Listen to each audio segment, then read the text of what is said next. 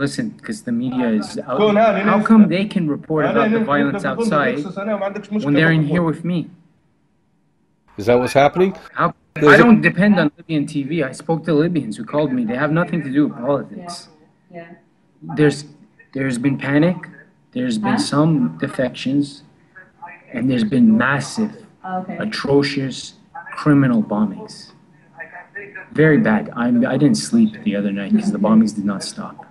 How is it tonight? Okay. Are they still bombing? They bombed a bit. They bombed a bit, I but think- not yeah. as much. I think. NATO's directly involved. like I, I heard that somebody told me the Transitional Council. This is somebody who's a foreigner. Was reading the Transitional Council itself in Benghazi has said NATO is involved I with the don't- operations. don't think that's a So what is NATO lying about when it says they're not The directing these operations? You're ready to leave now. You're you're ready to get out. I'm confined in a, in a, in a place I can't move. If I could have moved, it would have been a different story. I'll be dead honest with you. I was put in a position where I'm confined, and uh, uh you know, I, I would have moved on my own. I would have left on my own terms. I've been here for two months, and I don't want to leave like a coward at all. Because when I leave, these people, they're going to face the nightmare. They'll face the nightmare. And I feel like a coward for leaving these people here who are going to live in fear there's going to be um, there's going to be gangs, just like in Benghazi. They're going to kill each other. For what? NATO wants them to kill each other. I feel very bad the Libyans are killing Libyans. And they're not all Libyans either. You know, there's a lot of people who came here because they're from other Arab countries because they thought it's an authentic revolution. Some came because they because they uh, uh, misconstrued religious views. Oh, also, some just got paid for it, just for money. Of course, no, of course. And uh, there's, believe me, some did get paid for it.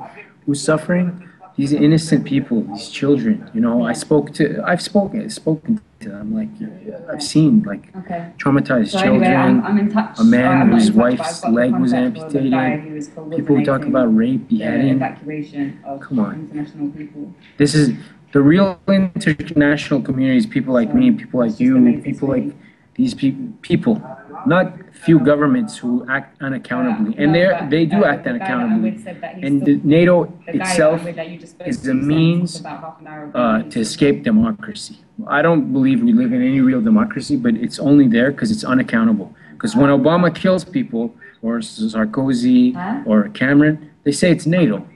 They won't be held accountable. There's no constituency that can uh, stop them. They just say it's idea. NATO. I'm Na- in eh, this NATO did this. NATO has in to go so to has know. to be I don't know taken. Jerry, Na- do you know na- the TV station has been bombed?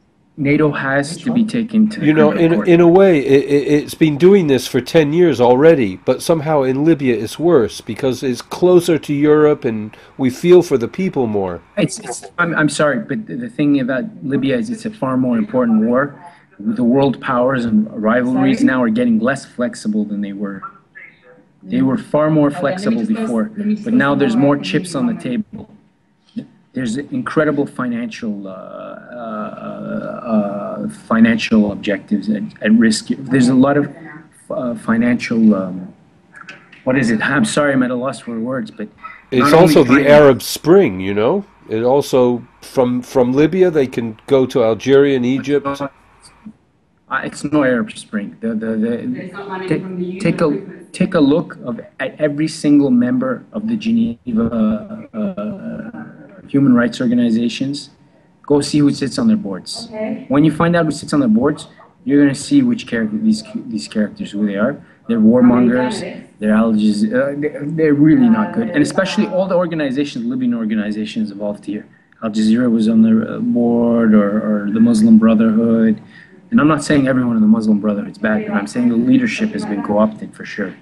You know, and uh, and um, it, it's it's it, it's a fraud. This war was a fraud. It's a real full. They're all media wars. This was really the media is tipped, tipped, and they're doing this to Syria. So what's happened is you you are you are confined there. Yeah, we're confined because they're snipers. Uh, they're we, we have to be safe, right? And do you think there's much safe. Libyan military? Because I've been told they're all hiding. Like you, you don't actually see them.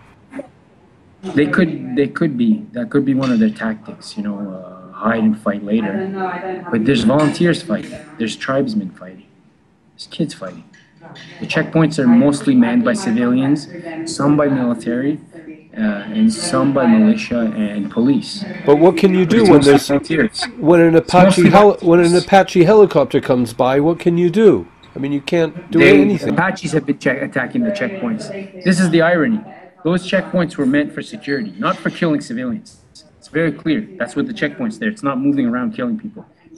It could be stopping some mobility, but it hasn't. I've seen. I've go through the checkpoints, but those checkpoints are there for security, and they NATO bombs bombs and attacks the checkpoints with their helicopters. The gunships were in Tajura the last couple of days. They've been attacking, and I'm. I have to tell the Russians, the Chinese, the Iranians, uh, the Algerians, uh, you know, uh, several former Soviet republics.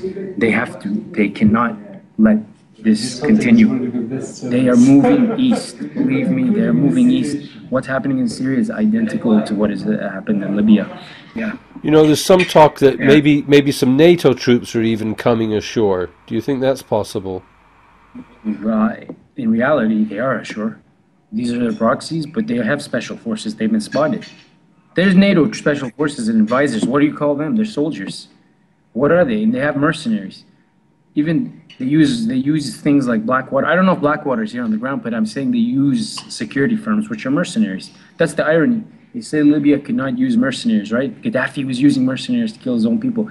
When they use mercenaries all around the world, the United States is the biggest contractor of mercenaries in the world. What do the British do? What do they do in Iraq and Afghanistan? What do the Americans do? They use mercenaries. Believe me. You know, they say Gaddafi's a madman, Gaddafi has to go. Okay, maybe you're right, for argument's sake.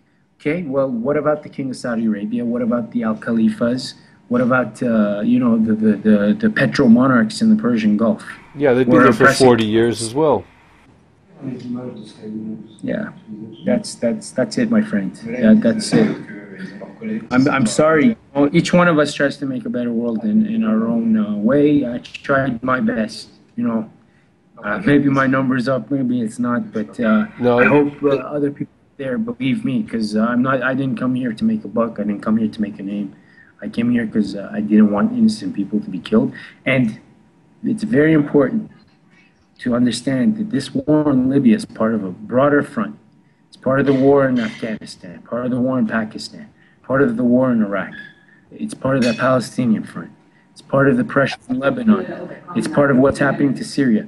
It's part of what happened in Chechnya and Dagestan to the Russian Federation. It's what happened in Tibet in Western China. It's a, it's part of the coup d'etat against President Chavez and the Venezuelan government. It's part of the pressure, the terrible pressure against the Cuban government. You know, this prevented Cuba from developing.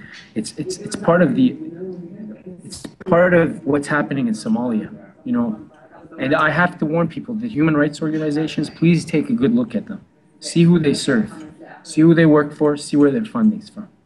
'Cause believe me, they can lie and they work for governments. You know, these human rights organizations and, and, and such, you know, in Africa, look what they've done to this, they're doing to this continent. Like, there's been famine because of this war in other parts of Africa, because this country financed agricultural projects or was behind the development. They don't care. It's just killers. No, no, they don't care. last, I'm last, sorry. I was babbling. last favor to ask you. I, I, can you Yes. can you show us around the area again? I, I, I kind of lost it before. Yeah, I will. I will. A lot of people left in here. This is the mosque. What they've gone outside? No, they're just at the door. These are the pastries I brought up. There you go. Yeah, that's great. That's really good.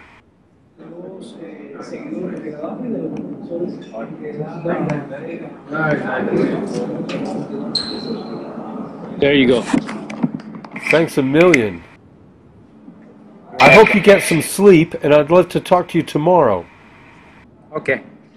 I heard Franklin Lamb was shot in the leg. That's correct. I hope he's safe. He is. Bye. Bye bye. Bye. Bye.